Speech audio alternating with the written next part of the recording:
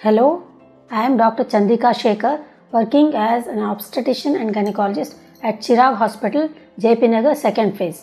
I am also a visiting consultant at Malathi Manipal Hospital, Jayanagar 9th block, Apollo Cradle Hospital, Jayanagar 5th block, and Motherhood Hospital, Banashankari second stage. Coming to effect of diabetes and obesity on pregnancy. So basal thing is pregnancy. So on pregnancy, what will happen in a lady who is obese and a lady who is diabetic?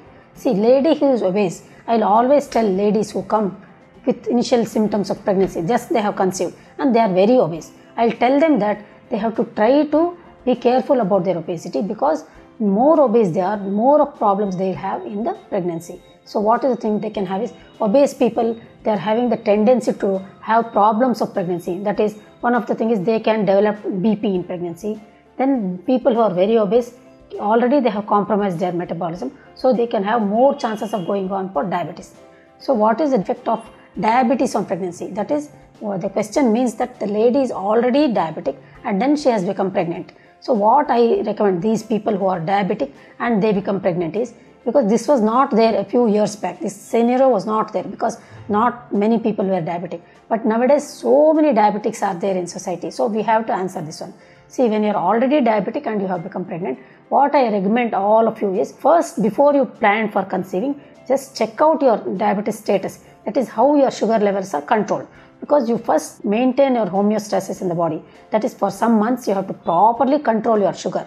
Then you have to plan for pregnancy because uncontrolled diabetes is not a good thing for conception because it is so bad to have high levels of sugar and conceive because that can become a iatrogenic means it can be the cause of abnormal babies. I have seen this happen.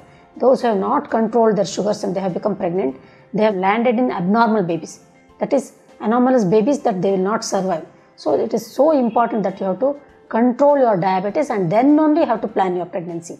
So that when you tell your doctor, they'll take care of it, then you can conceive. That is what is the effect of diabetes on pregnancy. And one more thing, if a pregnant lady becomes diabetic after she is pregnant, that is what usually happens. That is what is called as gestational diabetes. That is, it comes only during the uh, pregnancy because of the hormonal influence, which is all diabetogenic type of hormones, what we have in pregnancy. Because of that, they develop diabetes in pregnancy. That is in the latter half of pregnancy.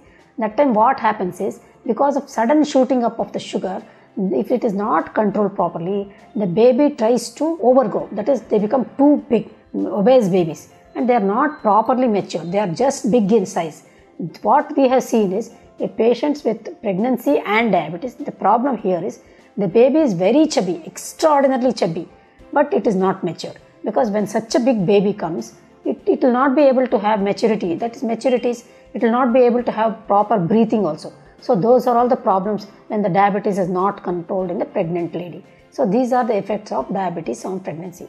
And if the baby has overgrown, too much of overgrowing of babies, it is naturally, it cannot come through the natural passages. So, we will be forced to do cesarean. And sometimes what happens, we'll try to do normal delivery. That time a part of the baby comes out and it gets stuck.